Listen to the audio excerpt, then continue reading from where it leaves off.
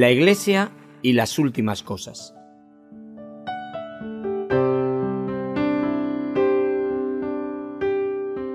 Un estudio expositivo sobre el fin de los tiempos a cargo del siervo de Dios, Loel Bruckner.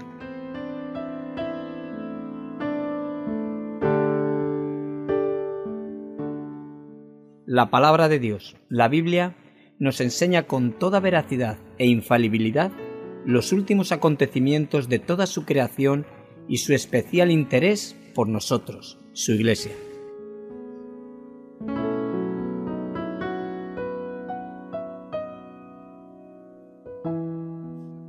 Entonces habrá señales en el sol, en la luna y en las estrellas, y en la tierra angustia de las gentes, confundidas a causa del bramido del mar y de las olas, desfalleciendo los hombres por el temor y por la expectación de las cosas que sobrevendrán en la tierra, porque las potencias de los cielos serán conmovidas.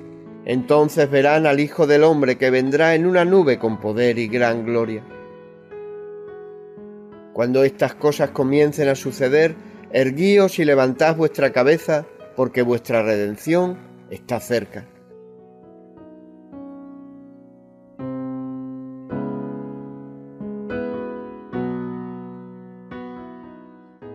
La Iglesia y las últimas cosas.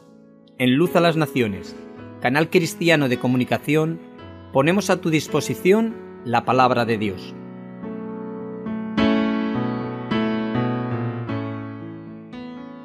Síguenos a través de nuestros canales de Facebook y YouTube, que podrás encontrar en la página web www.fmradioluz.com.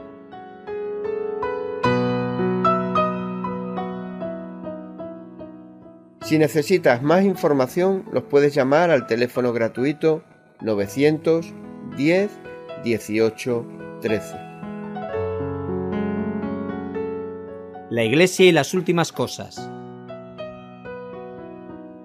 Mas el fin de todas las cosas se acerca. Sed pues sobrios y velad en oración.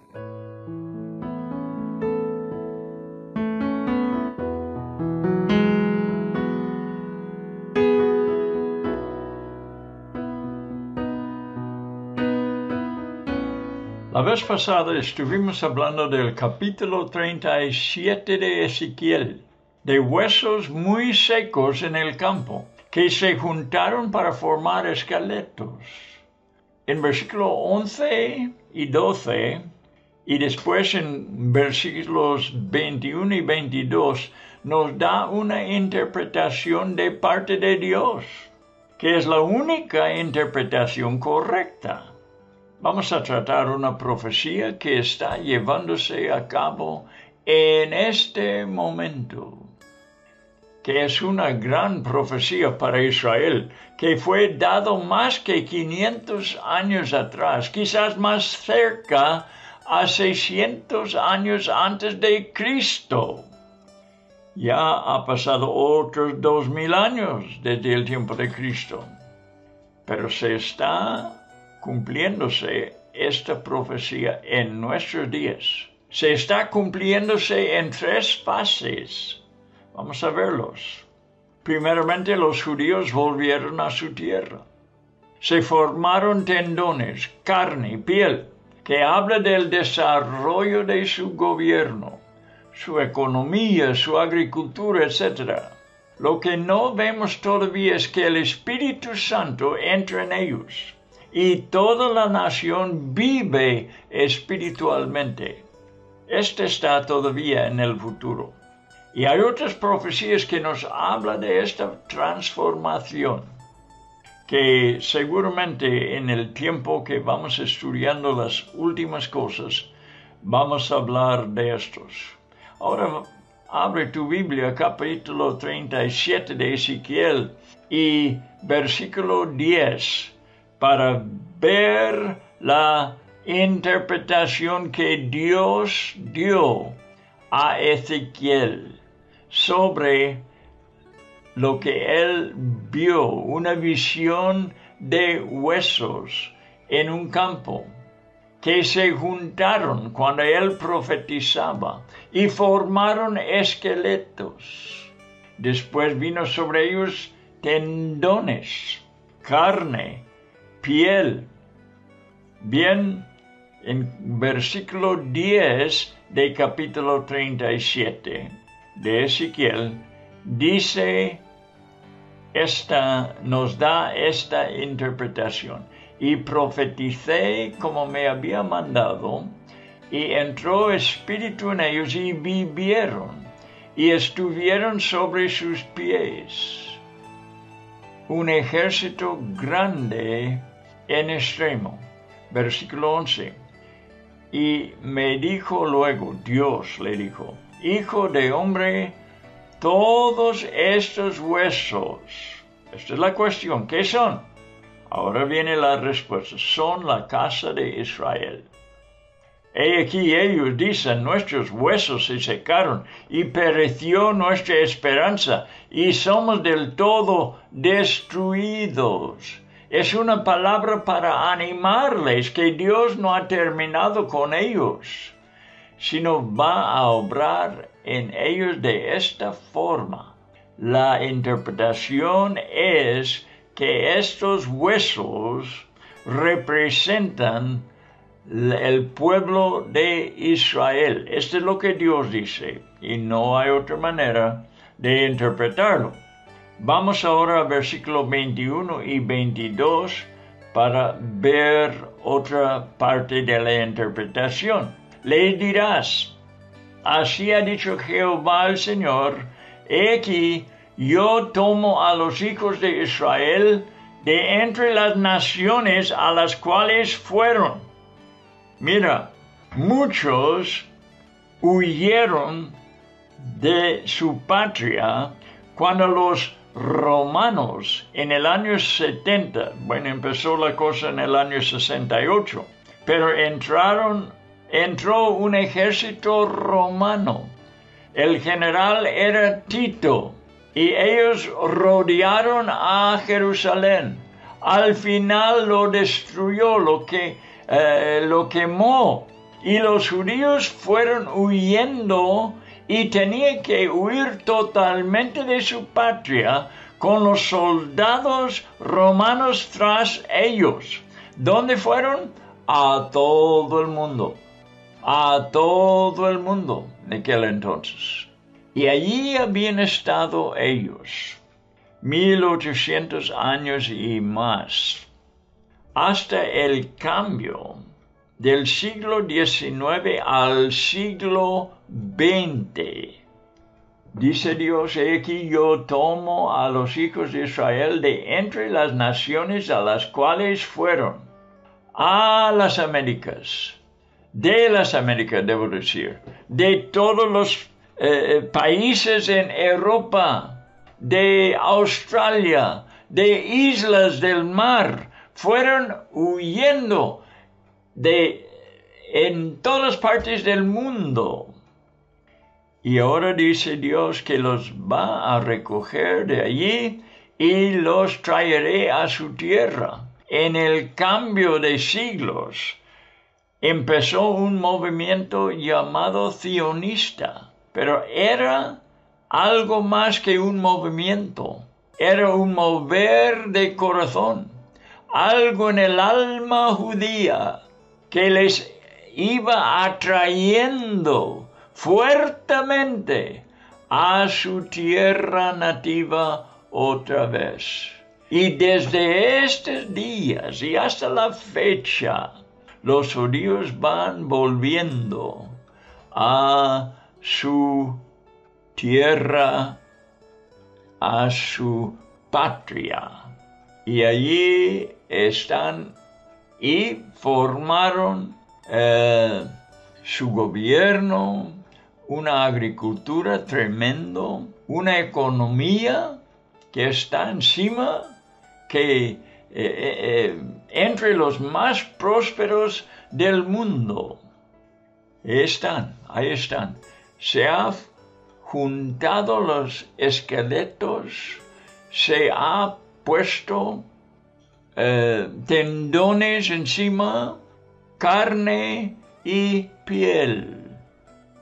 Están en su tierra, tienen su propio gobierno, es soberano y va prosperando mucho. Le falta una cosa más, que el Espíritu de Dios entre en ellos. Esta será la última fase, el último fase de este, estos acontecimientos, que no ha pasado todavía, pero se formará en el futuro. Y va a haber partes en la Biblia donde hay profecías que hablan precisamente de esto, especialmente en el libro de Zacarías, el penúltimo libro del Antiguo Testamento. Vamos a estar hablando de esto, no sé cuándo, pero tenemos mucho territorio que cubrir todavía con nuestros estudios de los últimos tiempos. Bueno, este es un, lo que estamos aquí viendo en Ezequiel 37 es una de las profecías tremendas que tiene que ver con la casa de Israel que se está cumpliendo hoy en día. Bien, Primeramente, vamos a ver las tres fases otra vez. Primeramente, los judíos volvieron a su tierra. Segundo, se formaron tendones, carne y piel que habla del desarrollo de su gobierno, su economía, su agricultura, etc. Lo que no vemos todavía es la tercera, es el tercer fase, es que el Espíritu entra en ellos y toda la nación vive viva espiritualmente, que está en el futuro. Y hay otras profecías, como he dicho, de que tendremos que estudiar. Este es capítulo 37. Vayas al capítulo 40 y habla de un templo, un templo tremendo y grande, que va a ser edificado. No es edificado y no será hasta entrando en el milenio. Entonces desde capítulo 40 hasta el último capítulo 48 de Ezequiel habla de este templo, su formación, de su medida, da todos los detalles de este templo. Entre capítulo 37 y 40, sea capítulos 38 y 39 habla de una guerra que ocurrirá cuando Israel está en su tierra, como está ahora. Va a pasar una guerra que no lo hemos visto todavía, pero vendrá esa guerra. Y quiero hablar un poco de esto en el estudio de hoy. Algunos opinan que es la guerra de Armagedón. No pienso que es, porque hay diferencias. Armagedón, por ejemplo, ocurre en un valle, el valle de Armagedón. Y la guerra de que vamos a tratar hoy tiene que ver con las alturas de Golán, sobre las alturas de Israel. Lo vamos a ver en estos dos capítulos. Armagedón está a 80 kilómetros al norte de Jerusalén.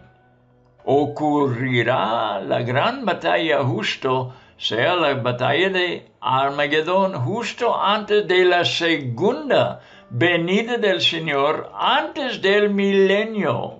Comenzará en este valle y terminará en Jerusalén. Pero lo que vemos en estos dos capítulos de Ezequiel es diferente.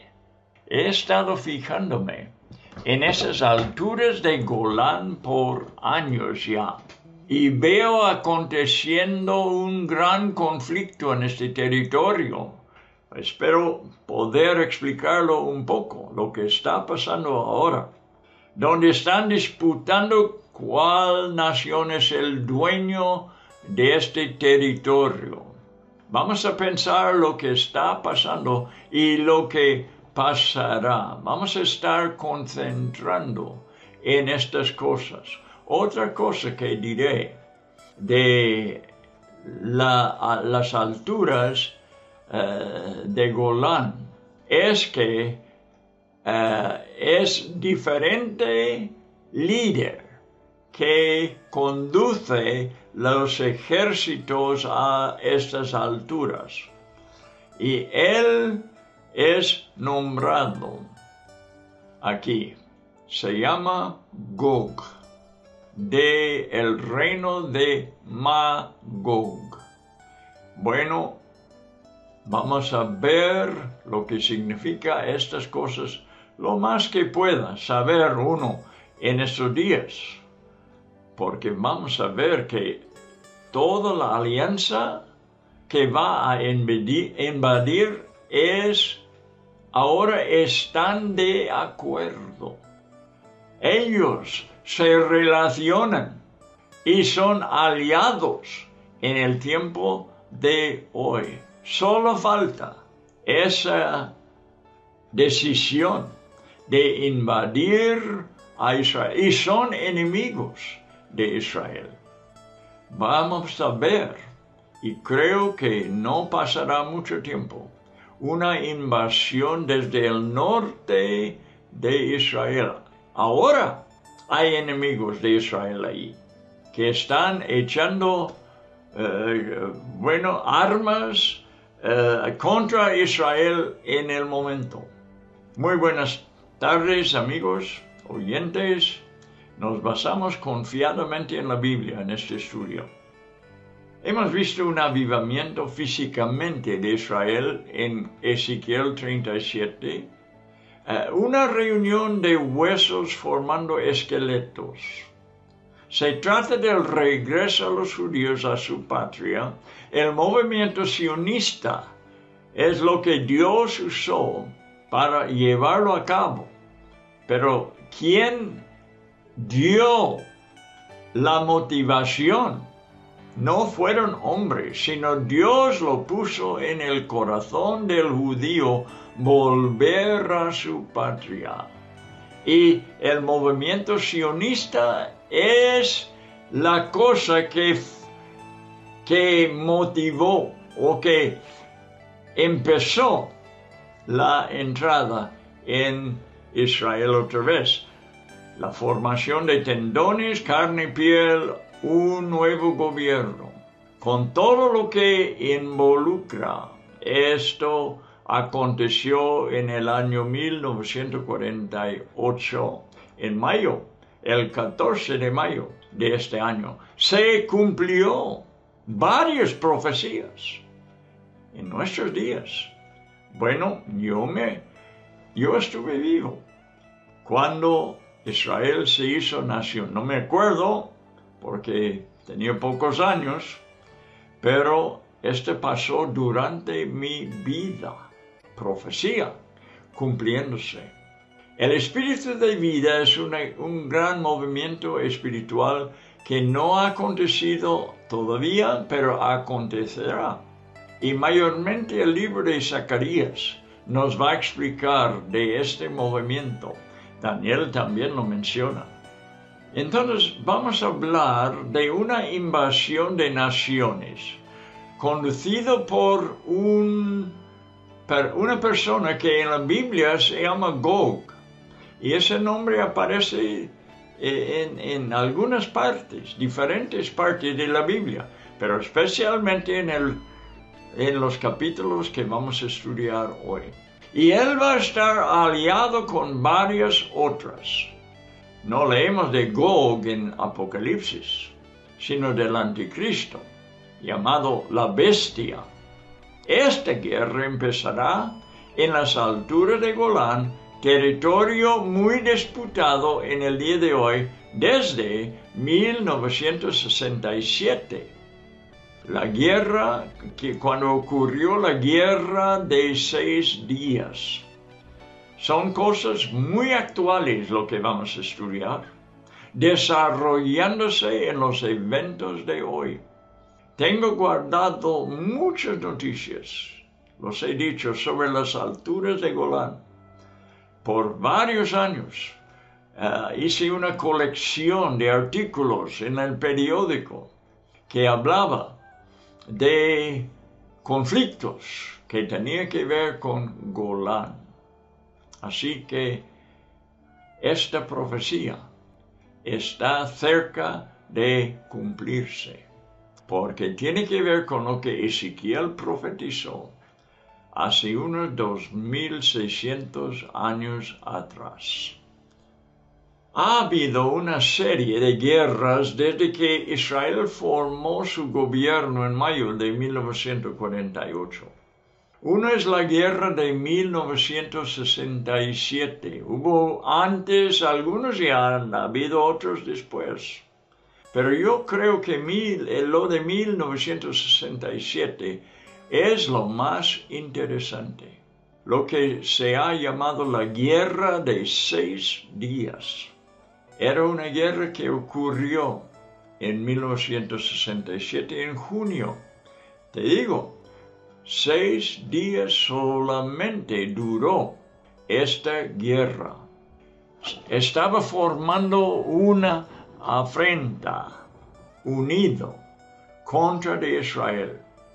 Era Egipto, era Siria, era Jordania, era Irak. Israel, ahora estoy leyendo del internet, donde dice Israel temiendo un ataque inminente,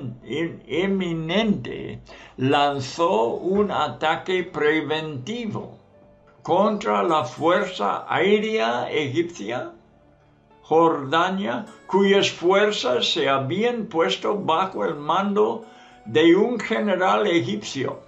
Atacó las ciudades israelíes de Jerusalén y Netanya al finalizar la guerra, Israel había conquistado la península de Sinaí, la franca de Gaza, Cisjordania, Israel este, incluyendo la ciudad vieja de Jerusalén, y los altos de Golán.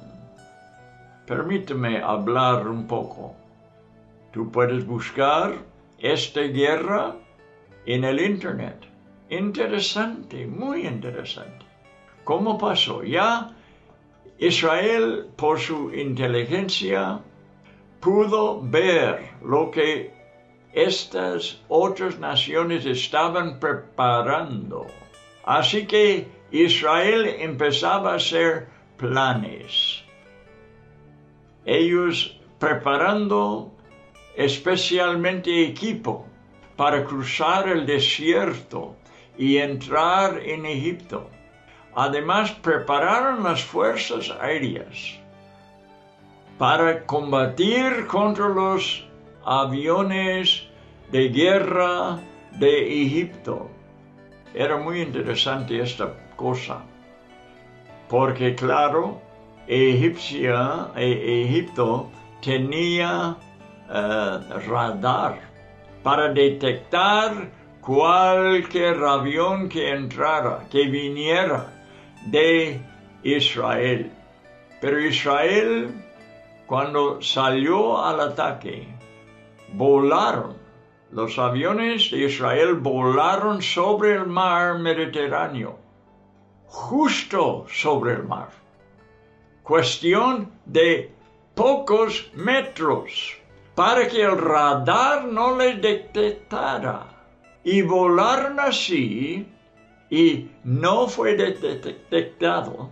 Y la hora, aún la hora fue planeado ser al desayuno cuando los egipcios, los pilotos, estuvieron desayunando. Viene Israel de esta forma, los aviones de Israel de esta forma justo sobre el mar Mediterráneo.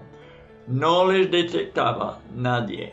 Y ellos fueron a donde estaban los aires, a las pistas, donde estaban los aviones de Egipto. Vino de sorpresa.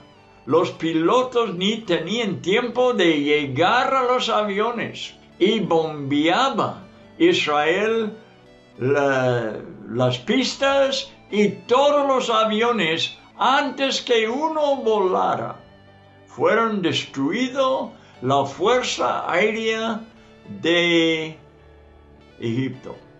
También entraron los otros fuerzas de tierra y destruyeron los de los enemigos. Y te digo, todas estas cosas lo hicieron en seis días y al final Israel queda con territorio nuevo. No era nuevo para ellos. Ellos habían sido los poseedores de esas tierras en la historia. Pero de nuevo, ellos pudieron capturar de nuevo la parte este de la santa ciudad de Jerusalén. Habían conquistado la península de Sinaí. Hemos dicho, la franja de Gaza, es mucho en las noticias hoy en día. De allí, ellos este, hicieron un compromiso con los palestinos y les dieron esa franja de Gaza, Cisjordania y las altos de Golán. Ahora, he dicho que voy a hablar un poco de estos altos de Golán, porque de allí viene el enemigo de que vamos a tratar en este estudio. Este lugar, te digo, los altos de Golán son disputados. Los diferentes, especialmente los sirios, perdieron los altos de Golán en esa guerra de 1967 y lo quieren de nuevo. No reconocen que Israel lo había ganado ese territorio. Ellos todavía piensan que es de ellos, los sirios. Los sirios están aliados con quién? Bueno, entre otras naciones, con Rusia. Y he notado que Rusia ha querido que sus ejércitos, sus soldados estuvieran cerca de los altos de Golán para ayudar a sus aliados sirios ganar de nuevo el territorio. Pon los ojos, amigo cristiano, en los altos de Golán porque profecía va a cumplirse allí. Cuando Israel ganó de Siria las alturas de Golán y gran parte de Jerusalén. ¿Te acuerdas hace pocos años cuando Trump era el presidente de los Estados Unidos? Puso la embajada de los Estados Unidos en Jerusalén. ¿Mm? Y también reconoció las alturas de Golán como posesión de Israel, porque ha sido disputado. Bueno, vamos a abrir la Biblia.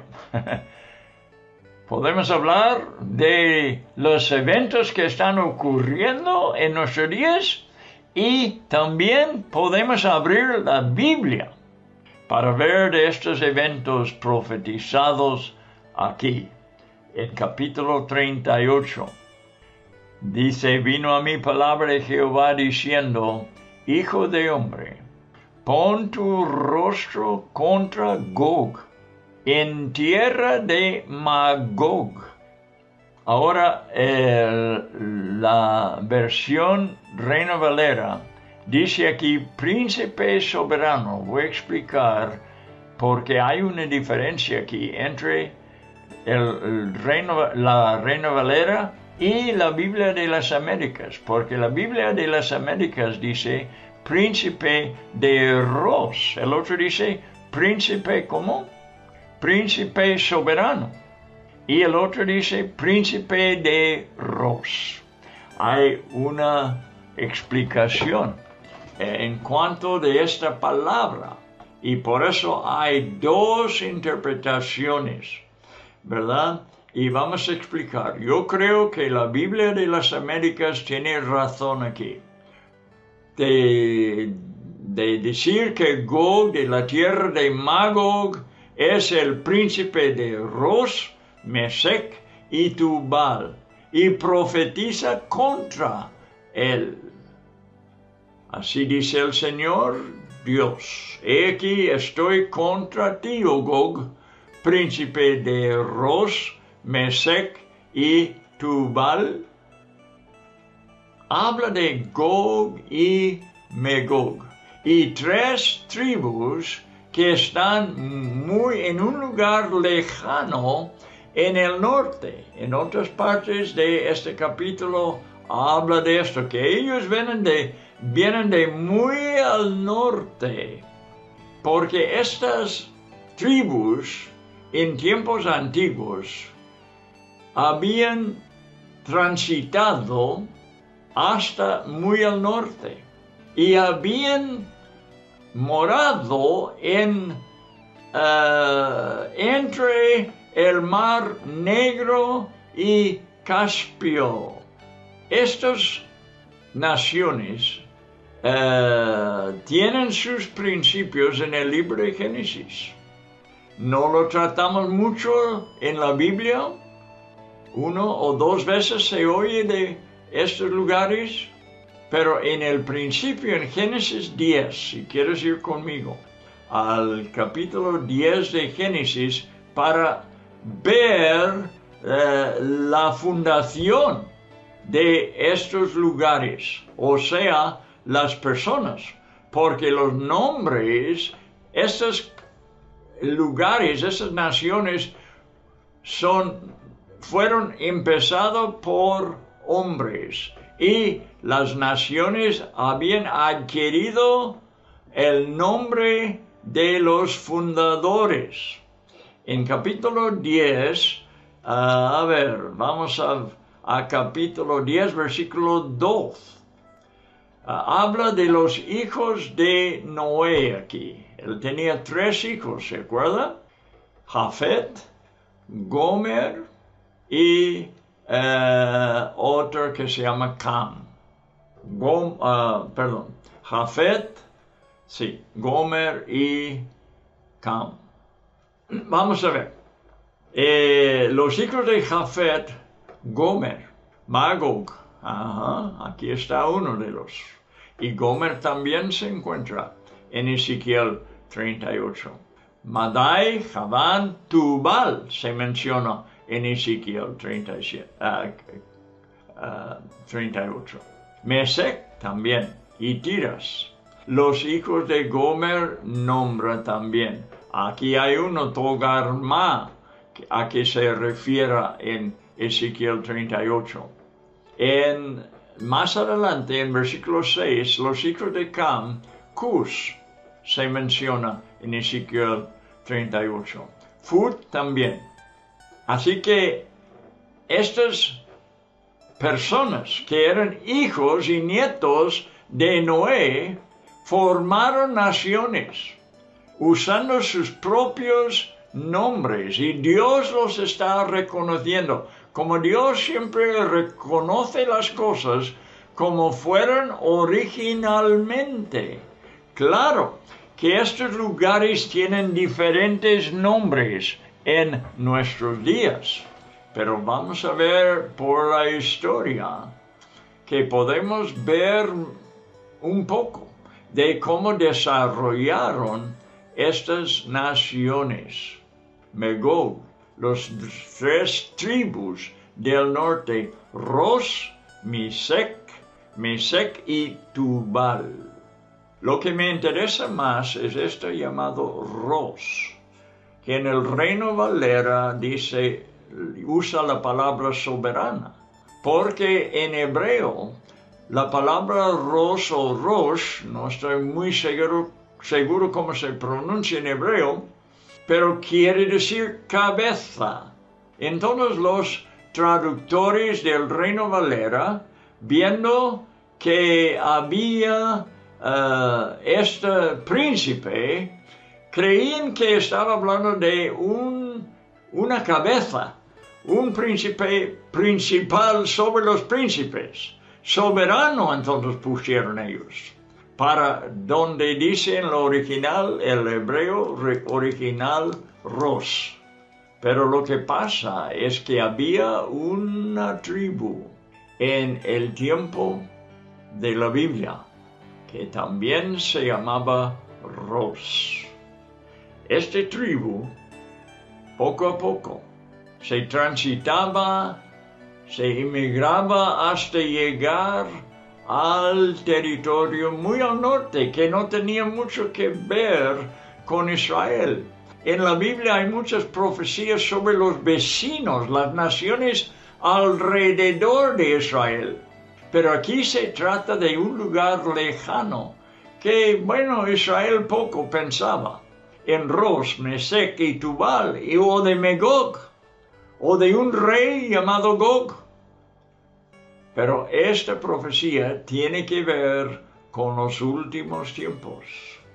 Y se trata de estas tres tribus dentro de lo que se llama Megog. Una gente llamado Ros, una tribu llamado Ros. Ahora amigos, hay muchos estudiantes de la Biblia que piensan que el, la palabra Ros sobre el tiempo, sobre los años, como hacen los lenguajes, ¿verdad? Cambió poco a poco hasta que lo llegaba a llamar Rusia, de Ros a Rusia. Se trata de Rusia. Al norte, entre el mar Negro Caspio, aluden a la Rusia occidental, central y oriental. Hay otras naciones mencionadas aquí. Vamos otra vez al capítulo 38 de Ezequiel. Vamos eh, a ver qué otros son mencionados. Bueno, pon tu rostro hacia Gog de la tierra de Magog, príncipe de Ros, Mesec y Tubal no voy a hablar de todos estos nombres, hay una historia tras todos. Pero lo que me interesa más es Ros, que está localizada esta gente, o se localizaba en el tiempo de Ezequiel en esa parte, que ahora es Rusia. Y como digo, los estudiantes de la Biblia ven que esta tribu Ros ocupaba a lo que llamamos ahora Rusia, su nombre que vino de esta tribu Ros. Y di, así dice el Señor, ya lo hemos leído, aquí estoy contra ti, oh Gog, príncipe de Ros, Mesec y Tubal. Y te haré dar vuelta, pondré garfios en tus quijadas, y te sacaré con todo tu ejército, caballos y jinetes, todos ellos bien equipados, una gran compañía, etc. Versículo 5. Persia, aliado con Gog, Magog. Persia, Etiopía y Fut con ellos, todos con escudo y elma. Luego otro, Gomer con todas sus tropas. Bet Togarma. Este era un descendiente de, de uh, Noé también. La primera parte no, pero Togarma. De las partes remotas, esto es lo que queremos ver, las partes remotas, lejanos del norte, con todas sus tropas. Muchos pueblos están contigo. Verá que todo lo que se menciona aquí están, son amigos, son personas, son naciones, perdón, que tienen relaciones entre ellos, son aliados, se respaldan unos de los otros. Bien, vamos a ver. Eh, los de Irán están aquí. ¿En qué forma? Versículo 5, Persia. Porque lo que se llama Irán hoy en día es exactamente donde estaba el imperio persa. Los de Arán, Irán, están con Gog y Megog, con los del territorio de Rusia, como son aliados ahora. Habla de Persia que hoy es Irán. Los iraníes, hasta el día de hoy, son muy orgullosos de ser persas. ¿eh? No son árabes, son persas. Fut hoy en día es Libia en África. Pero de las partes remotas del norte, también en versículo 15 dice lo mismo. Vendrás de tu lugar de las partes remotas del norte, tú y mucha gente contigo, todos montados a caballos, etc. Pero nos interesan las naciones aquí, que forman los aliados que invadan a Israel por los altos del Golán. Allí entrarán. Normalmente leemos de los vecinos de Israel, he dicho, ¿verdad? porque estas partes son remotas. Israel no tenía mucho que ver con estos. Pero todos estos lugares, todas estas naciones son antisemíticos, especialmente Rusia. Rusia y Stalin mataron millones de judíos también habían estado muy en contra de los judíos. Yo conozco algunos judíos que viven en Rusia y cuando eran niños, jóvenes, tenían que identificarse según su sangre, ¿verdad? Según la raza de gente que eran. Y tenían que eh, tener mucho cuidado de que descubran que eran judíos. Y la chica eh, con que estuve hablando un día, una judía de Rusia, y tenía hasta vergüenza de decirme su raza. Lo dijo hasta lo último, hasta haberlo preguntado de varias maneras, por fin confesó, soy judía. Pero ella había acostumbrado a guardar eso como secreto por la vergüenza en Rusia de ser un judío.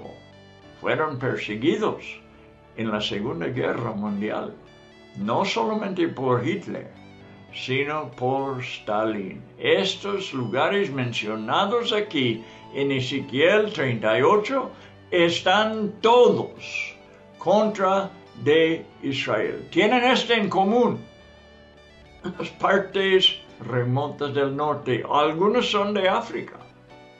Eh, al cabo de años, mira el versículo 8. Interesante, otro asunto sobre este pueblo, estos pueblos. Al cabo de muchos días recibirás órdenes. Escucha esta parte. Al fin de los años vendrás a la tierra recuperada de la espada. A fin de los años.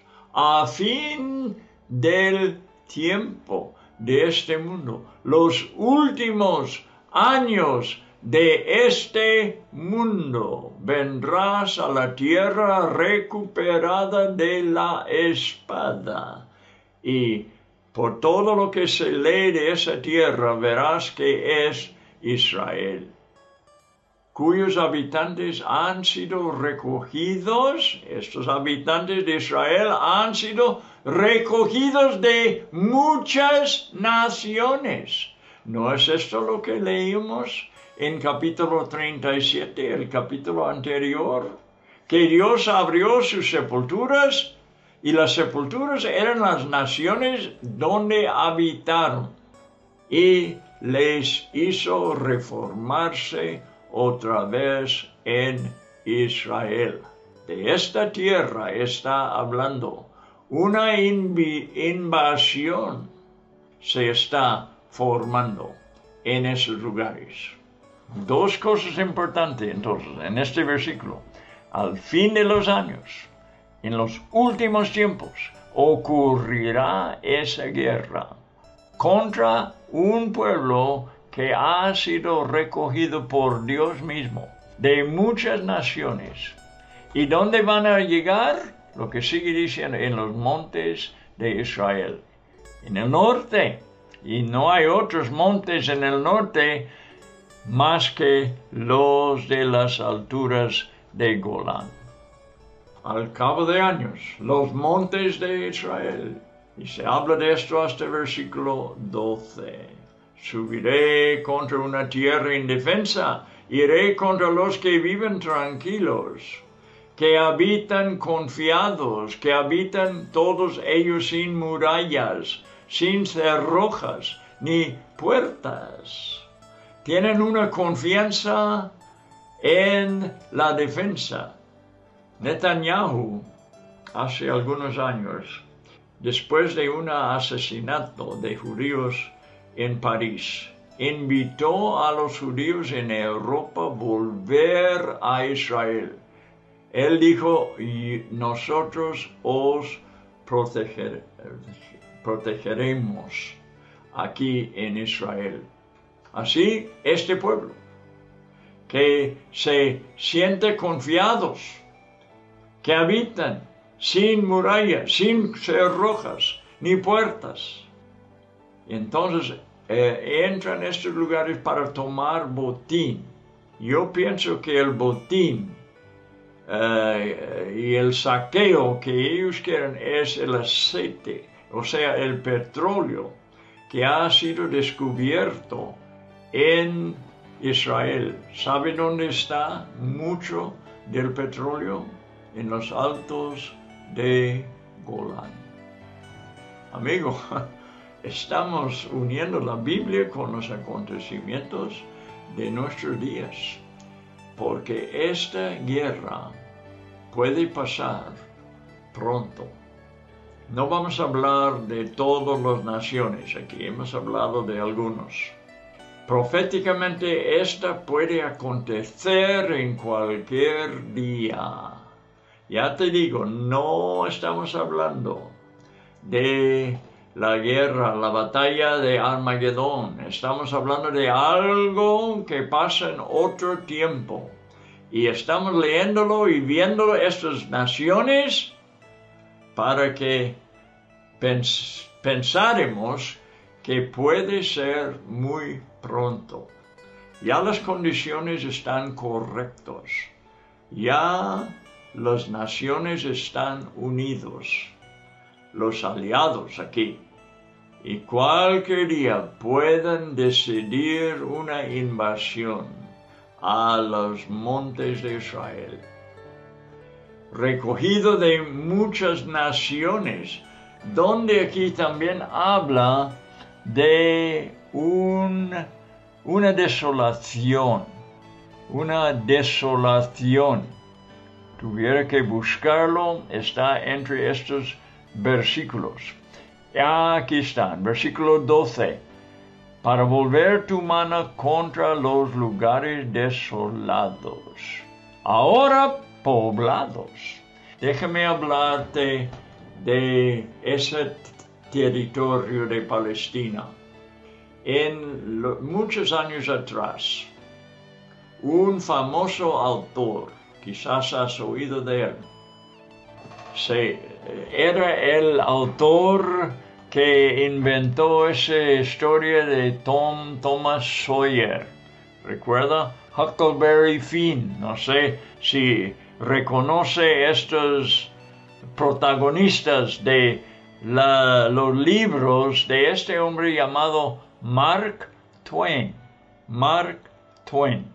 Él visitó a Palestina hace años y entró allí porque, bueno, había guerras allí, había gente peleando para obtener la posesión de esa tierra y él volvió, volvió muy desilusionado diciendo, ¿por qué? ¿Por qué tanta tanto pleito, tanta batalla para obtener esa tierra. Esa tierra no tiene nada que ofrecer. Es un desierto, dijo él, una desolación. Así fue Palestina. Pero desde 1948 ha pasado una transformación. Ellos exportan mucho fruto. Son uno de los mejores eh, exportadores de fruta de todo el mundo. Aquí está hablando de los lugares desolados ahora poblados y contra el pueblo reunido de entre las naciones. Dios los reunió en su patria otra vez. Bueno amigos, tenemos que terminar, pero no es interesante esto. ¿No es interesante? ¿No parece que está formando todas las cosas necesarias para que se haga una invasión contra Israel? Este sería un buen tiempo, porque Israel está ocupado con otras cosas. En Gaza, por ejemplo. Pero cualquier día esto puede pasar. Si estás escuchando las noticias verás como hay una posibilidad que acontece ahora. Dios mismo vendrá en defensa de su pueblo. No vamos a leer todo el capítulo, pero tú lo puedes leer. Por señales naturales, terremotos, eh, tormentas.